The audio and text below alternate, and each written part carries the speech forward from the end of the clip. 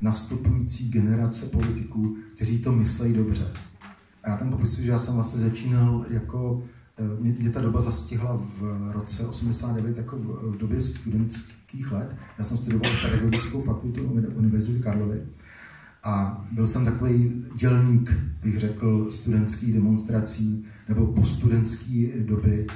Mimochodem, já nevím, jestli to víte, ale my tady máme jedno ze studentských vůdců, Michala Mejstříka, Michala Mejstříka, já ho tady vítám. Takže zatímco Michal dělal, dělal revoluci v těch vrcholných pozicích, tak já jsem byl dělník a chodil jsem z, eh, Pardon? Martina Mejstříka, jsem, jsem byl upozorněn. Ale proč já si to bych pletu s Michalem? Není existuje nějaký herec třeba Michal Mejstřík? Tak jsem si vás pět s Michalem Kocátem. Prostor pro investigativní práce. Víte, eh, co dělá eh, dvě deci z hradeckého slunovratu v krvi? Nesmíme, lidi, kteří mluví, nesmí pít. To je tady heslo důležité. Se omlouvám.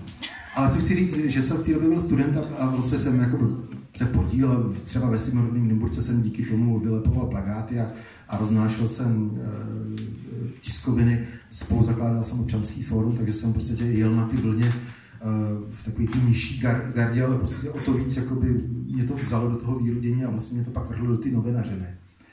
Ale proč to říkám? Já jsem vlastně chtěl říct, jo, tu historku, jak jsem měl rád Zemana tak já jsem s ním dělal rozhovor v roce 90, před prvníma svobodnýma volbama. Jsem s ním v Nymburce, když přijel prostě na předvolební meeting, tak jsem s ním dělal rozhovor a úplně na něj koukal, zíral, prostě jsem ho miloval. Jako fakt. On prostě mluvil jak z Partesu, prostě on říkal, samozřejmě dneska už to víme, on říkal i nesmysl, on si vymýšlel prostě, že já nevím, jak podle těch statistických eh, norm, prostě jak se republika bude zlepšovat a tak. A prostě a my jsme mu vysílali a říkali, paráda, za dva roky tady máme Německo jako kapitalismus, budeme za, za deset let v Americe jako pomalu. No nic, no a pak se to měnilo tím, jak on vlastně uh, se chopil té moci a, a začal se obklopovat těma lidma, kterými se obklopoval, tak tím to začalo být horší a horší. A jedna ta vtipná, které jsem chtěl dospět, je ta, že jsem byl v roce 96 na rozhovoru, jsme jeli s kolegou Jirkou Kubíkem do Ostravy, nebo do, do Poruby, eh, do Bohumína, pardon, do Bohumína a zastavili jsme se na e, nějakém místě, kde prostě byla restaurace a tam prostě byl přítomen pan Zeman, který slíbil, že nám věnuje 30 minut na rozhovor. No a Jirka Kubík řekl, jak dosedneš si vedle Zemana, kdyby nám chtěl z těch otázek odejít, tak ho zastavíš, protože ty jsi šrampa, že jo, prostě v pohodě, já, že to on se bude ptát. Tak já si tam vedle něho seděl a za chvíli prostě, tak samozřejmě popelníček, cigáro, pivo, panák, víno, běžně jako já vypít tolik, co on, tak já neřeknu ani uh, jedno slovo prostě. Já. Prostě to zase obdivuhodný, jak on dokázal v tom totálně opilickém stavu prostě mluvit jak Spartesu. Ale co se stalo? On jak kouřil, tak prostě on jak má takový ty pohyby ladný, neladný, občas jako poposedává, takže pak chvíli připomíná italskou pisu, tu, tu věž nakloněnou a, a rukama takhle lomí různě, tak jak držel to cigáro, tak on takhle se několikrát o mě otřel a v jednu chvíli já jsem na sebe, na sebe nějaký svetřík takový uh, eh, jemný a já jsem si toho vůbec nevšiml, protože mě to, mě to v tu chvíli nic nedělalo. Ale Jirka Kubík, který seděl naproti, tak najednou zakřičel, jak do ty vole, ty hoříš. to fakt to se stalo, já se podíval a on, on mě vlastně zapálil tou cigaretou. Takže já jsem byl normálně v tu chvíli chodící pochodem. Tak jsem to polil a, a on se na mě podíval a říkal, já jsem vás tady trochu spálil. Píšeš v té knížce, že tě, on tě dokonce hasil. Jo, no, ne, no, on se snažil. Jenom snažil. A já jsem v tu chvíli se zarazil, říkám, ne, nevidím se, radši nedělejte, protože to bude skončilo špatně. Se krvou. A nezvládl běhaš. Dobrý, ale tak jako on se mi v podstatě, já už si vlastně ani nepamatuju, jestli se nemluvil, jak to tam píšu v té knižce, ale e, vlastně jsem asi nečekal, jako, že, že by se mi měl mluvit, protože on kdyby se omluvil, tak by to možná nemyslel vážně, ale o to v tu chvíli nešlo. Tam šlo o to, že já jsem poznal, že v tom roce 96, že jednou o něm napíšu knížku. Že to teda bude až v roce 2019, kdy on už bude dvojnásobný prezident, které to jsem teda fakt nečekal. Ale mám takovou skvělou historiku, komu se to za, jako za poštěstí, že spálil vás cigaretou prezident? Prosím o vás cigár. Mně se třeba stalo, že místo předseda vlády Egon Lánský s chodou okolností ve vládě Miloše Zemana, která byla v letech 98-2002, tak mě majznul uh, po zádech Berlín. Fakt nekecám. To se stalo tak, a to jsou ty vtipnější historky, které prostě jako člověk, když se na to vzpomene, on vás bacil, no ale tak co, to nebylo něco, jako on mi neublížil, ale co, o co šlo? Já jsem psal o kauze, to jsou takové ty věci, píšete kauza, kauza, přijde to na něco a teď ten politik je naštvaný, to, že prostě musí vysvětlovat nevysvětlitelný. A úplně náhodou jsem se dostal k tomu, že vlastně on, on dal do, do daňového přiznání, do eh, přiznání politiků nějakou informaci o tom, že je vlastně nějaký jako účet v, v Rakousku. No a tak jako pro mě to byla výzva, že já jsem to rozpracovával a říkal jsem, že tak jako v Rakousku, tak uh, asi to má nějaký důvod, tak jsem se ptal po tom důvodu. A pak z toho najednou zešlo, že mu tam přišly nějaké peníze z, z vymáhání nějaké pohledávky, které bylo pro stát, nebo respektive proti státu, a on to dostal. Ale to nebyl ten hlavní problém. Tam byl ten problém, že najednou jsem zjistil, že v té době, to bylo asi v roku 99, uh, eh, tak uh, platil ještě jiný zákony než dneska.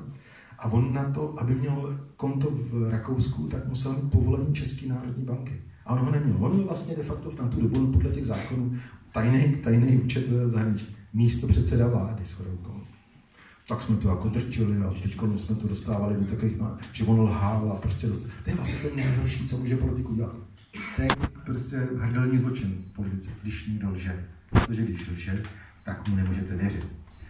A a on lhal a teď se dostával do úzkých a vlastně se dostal do toho, že ta vláda prostě jako chtěla přežít a v dělat ty otázky a další jako průšvihy a tak.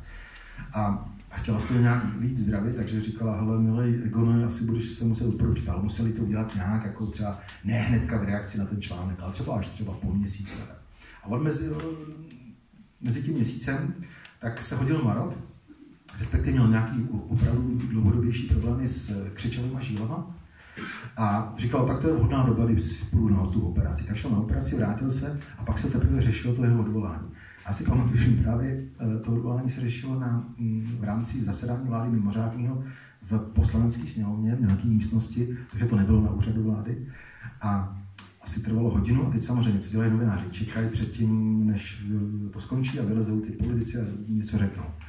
A první eh, vyšel, no, slovo vyšel, uh, Egon Lánský, on byl na vozejku tehdy díky těm křičovým žilám. A jel na tu mozaiku a takhle projížděl špalírem no, novinářů, asi takové jako desetimetrovým a první novináři prostě tam stáli a tak co jste se domluvili, jaký, jaký je výsledek jednání? A teď no, ne, ne, nebudu mluvit, nebudu mluvit, nebudu. A vůbec nic neřekl. A teď došel na konec toho špalíru, tam jsem stál já. Já jsem si ho nechal vychutnal, jsem si ho doposležil jsem si říkal, nebudu se tlačit dopředu, počkám si na závěr. No a on jak mě udělal, tak mě zbystřil a říkal, ty ten to neřekl, ale já si to myslím. Hajzl to A normálně jsem takhle dal ten diktafon a říkal jsem, pane vicepremiére, můžete nám říct, a teď jsem to ani nedořekl, a on vytáhl takhle z toho, z toho eh, kolečka, tam měl takhle daný eh, dozadu pověšený ty berle, tak jednou vytáhl a udělal šup. A on tady zautočil na kmentu. A no, mě se to ani nebylo. No. Takže z toho spíš vzekla taková historka. Kdo z vás může říct, že vicepremiér vlády vás vzal berlema přes Nebo kdo z vás může říct, si dělám srandu, jako, myslíte, jako že Eh, ně, několikanásobný předseda vlády a dvojnásobný prezident, a teď myslím Václava Klauze, na vás přes zavřené dveře křičí, kmento, odejděte, nebo se budu zlobit. Asi taky stalo. A to jsou taky prozaické jako věci, které prožijete, aniž byste chtěli. Jo. To. A vůbec nešlo o žádnou velkou kauzu. V případě Václava Klauze šlo jenom o to, že jsem prostě byl nadšený novinář, který jsem eh, měl za úkol přinést nějakou jednu konkrétní reakci pana tehdejšího premiéra a bylo to v roce 92 a dělila se federace. A bylo nějaký důležitý jednání o rozdělení federace s Vladimírem Mečarem a mělo to být nějakou víkendu. A najednou v pondělí ráno přišla zpráva, že se to jednání v neděli večer neuskutečnilo, protože Václav Klaus měl nějaký zdravotní problém. A nikdo nevěděl, jaké je to. A první, co bylo, ty ale, on má nějaký problém, prý něco s nohou, co dělá, nebo tak. Hm, to by bylo možná dobrý ho navštívit doma. Jardo, co, skočíš tam? Tady jsem pracoval ještě v agentuře ČTK. Tak jsem říkal, tu tam skočím, no, tak jako podívám se aspoň, kde bydlí tehdejší premiér Václav Klaus. A on tehdy teda s okolností bydlel na Proseku, což je v obrovský sídliště v Praze, v normálním nějakém jako bytě, asi 4 plus 1.